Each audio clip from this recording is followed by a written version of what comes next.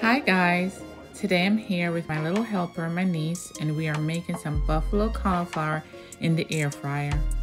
First you'll need some buffalo sauce, some almond flour, some olive oil, seasoning salt, and garlic powder. We're gonna mix all of that together after we melt the butter, and then we're gonna mix it all in and then stick it in the air fryer at 350 for 15 minutes. Got nothing for ya. Rizzo before ya. I'm the type to leave your ass sitting waiting in my foyer. So you roll these people out of control. Gotta beat them like patrols, cause they gas like petrol.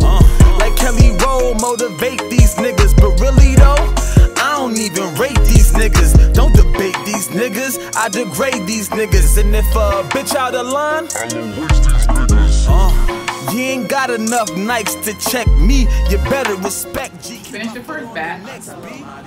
My awesome niece is doing the recording. This is my little helper. This is what it looks like. I have ranch, um, blue cheese, not ranch, blue cheese dressing for mine. She likes it plain, so let's try it, Aubrey.